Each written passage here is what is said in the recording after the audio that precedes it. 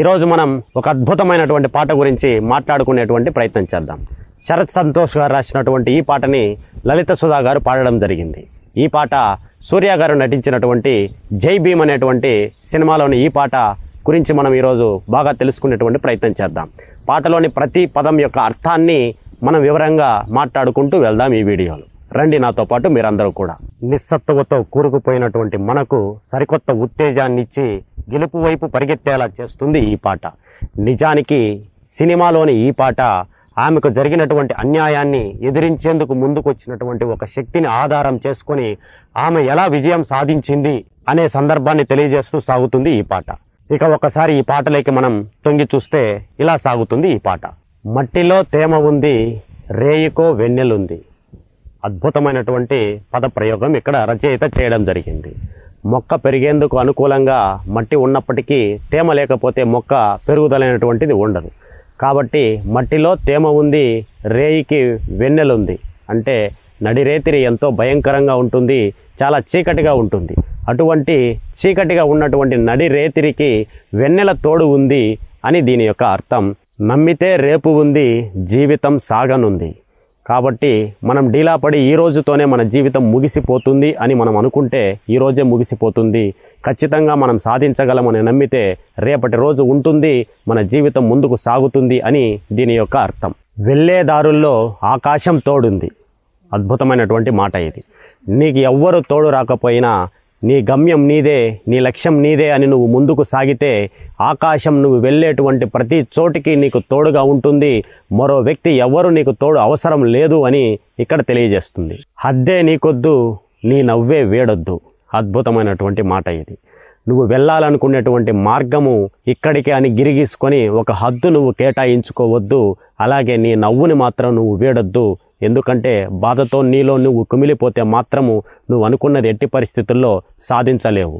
పట్టుదల నీ పడవై దాటుపద సాగరం.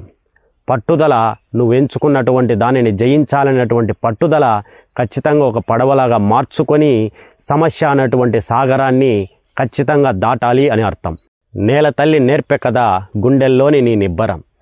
ఈ నేల మీద నడుస్తున్నావు కదా ఈ నేలతోనే నువ్వు పోరాటం చేశావు కదా అలాంటి నేల తల్లి నీకు ఎంతో నిబ్బరాన్ని నేర్పించింది ఎంతో ఓర్పును నీకోసము నేర్పించింది ఆ నేల తల్లిని చూసి నువ్వు నేర్చుకున్నావు కదా.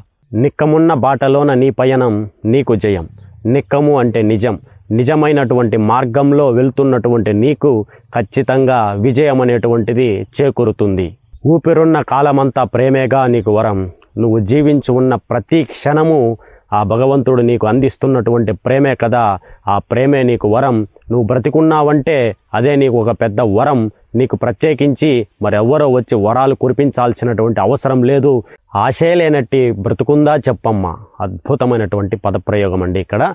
అసలు ఎటువంటి ఆశ లేనటువంటి జీవితము ఈ భూమి మీద ఉందా?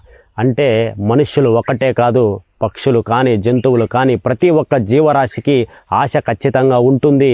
అలాంటి ఆశే లేనటువంటి జీవరాశి ఈ భూమి మీద లేనే లేదు. ఒకవేళ ఉంటే నువ్వేమన్నా చెప్పమ్మా నీ గుండెల్లోనే బదులుంది చిన్నమ్మ అంటే ఆశే లేని జీవితము ఈ భూమి మీద లేదు అనేటువంటి మాట దానికి సమాధానం నీ గుండెల్లోనే దాగి ఉంది వచ్చిందమ్మా కాబట్టి నువ్వు నేను ఓడిపోతాను గెలవలేను అని నీకు నీవుగా అనుకోకుండా నిజమైనటువంటి మార్గంలో నీకు కావాల్సిన దానికోసం పోరాటం చేస్తూ వెళ్ళు. ప్రకృతి కావలసినటువంటివి అన్నీ కూడా నీకు సహకరిస్తుంది. ఆకాశమే నీకు తోడుగా ఉంటుంది.